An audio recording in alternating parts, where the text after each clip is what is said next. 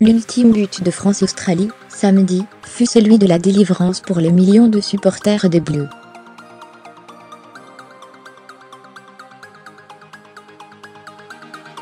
Il a sans doute aussi fait exulter les nombreux parieurs, qui avaient misé sur le fait que Paul Pogba allait marquer pendant la rencontre.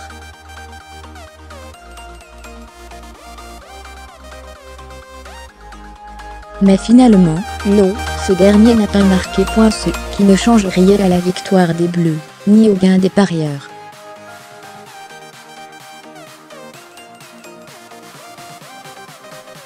On rembobine, samedi, 13h39, à Kazan.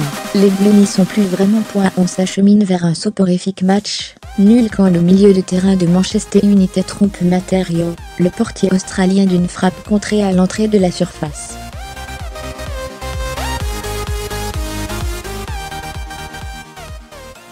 Le ballon thé, il vraiment franchit la ligne Oui, confirme la Goal Line Technology.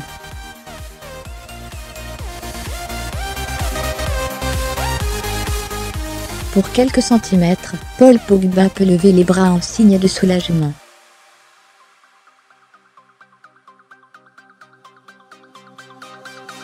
Il ne reste que quelques minutes à jouer, et son but sera celui de la victoire pour les Bleus.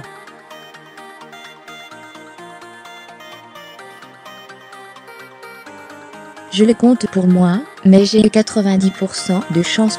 J'étais vraiment content que la balle entre et qu'on gagne le match.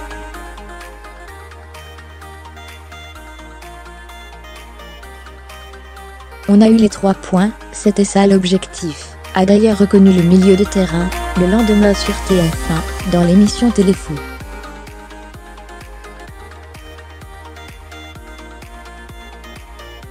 Sauf que quelques heures après ces déclarations, la donne a changé. Le deuxième but de la France a finalement été retiré à Paul Pogba, la FIFA estimant a posteriori qu'il s'agissait d'un but contre son camp de l'Australien Azib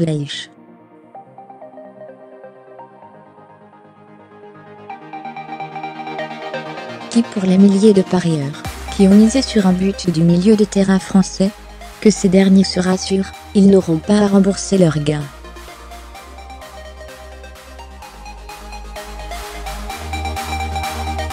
Sur les sites de paris en ligne, le natif de Lagny-sur-Marne, Seine-et-Marne, reste le troisième buteur de la rencontre.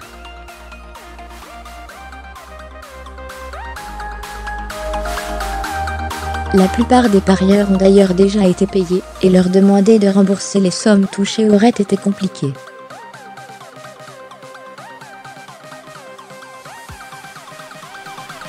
Les 285 parieurs qui ont misé sur un but de Paul Pogba vont conserver leur gain, confirme un porte-parole du site du PMU.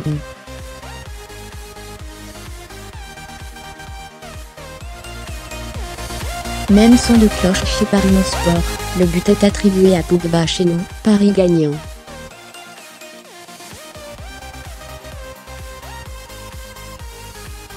Reste à savoir si en Australie, des parieurs avaient misé sur un but contre son camp du malheureux Azib